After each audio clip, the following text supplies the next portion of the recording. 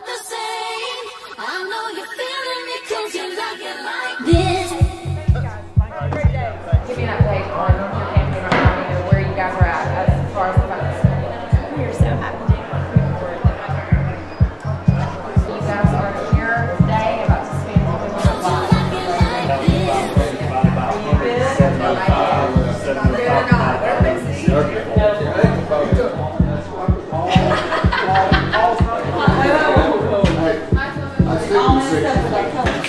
I'm also here to be quality control, so don't be turning those dials down to low resistance when you're supposed to go up, because I will be checking.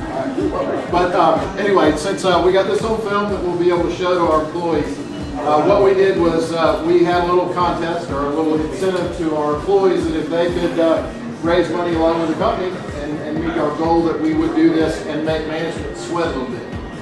Uh, all- a lot of our guys are out in the, in the plant sites doing hard work, well, they're sweating every day, and a lot of us sitting back in our air conditioned offices don't get a chance to let them see us sweat. So here's a chance that they will get to see us sweat.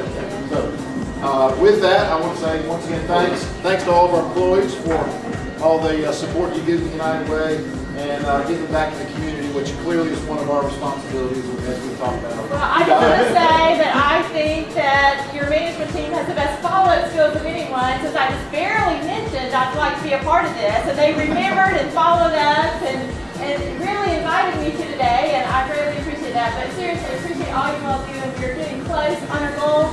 I greatly appreciate uh, companies like yours that come in so strong for us and help us do so well. So y'all set a great pace and make it fun too. So that's a great example. Thank you. All right, so before I I told some of you all this, but before um, we really get started, I have been informed that you guys are in great shape. You really, really, really want to push hard today.